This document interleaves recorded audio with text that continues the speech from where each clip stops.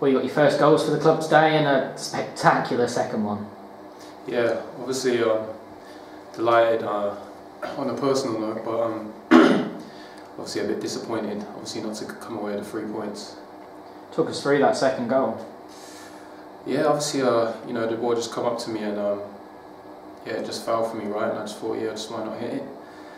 And uh, yeah, just got hold of it well. And as I said, you know, I was obviously delighted to get a second goal, but um, I would have just taken the three points today. It's frustrating to have got on a brace and still be on the back of a defeat.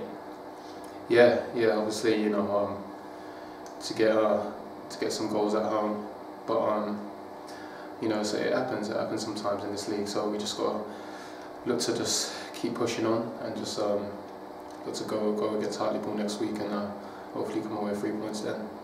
It's always difficult though when you've got a number of players out injured and it is a sort of not a makeshift side, but it's certainly a few new players in there. Yeah, there's a, obviously a new it's a new squad. You know, I'm, I'm, I'm new to the squad as well, but uh, I've got a few injuries as well to a couple key key players to our team. But um, you know, we just got to prepare for that. You know, it happens. It happens. You know, you get injuries, and we just got to look to pull pull together in the right direction, and um, you know, just look to go into each game in a positive note. Personally, do you feel like you're coming into your own at this club again now? Yeah, yeah. Um, you know, I'm enjoying it, enjoying it here, playing under the cafe as well, and uh, just meeting the boys. And obviously, I was delighted to get some goals today. And um, on a personal note, hopefully, it's uh, the start of uh, good things. Are you a confidence player? Are you a player who does thrive on you get a couple of goals, you get a couple more, and it builds up?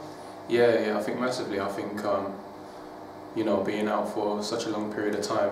Obviously, when I was at Chesterfield, obviously took a took its toll on my confidence as well. Um, as any striker, you know, when you when you score goals, you get confidence, and you just feel like you're going to score every game. And um, hopefully that'll be the case here. You know, I've got two now. Hopefully, um, you know, I just got to push on now and just look to help the team in any way I can.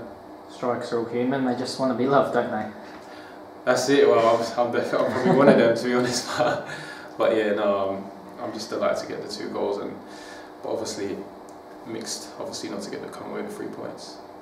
Hartlepool next up, and there must be a real intent in that dressing room to want to go and get those three points.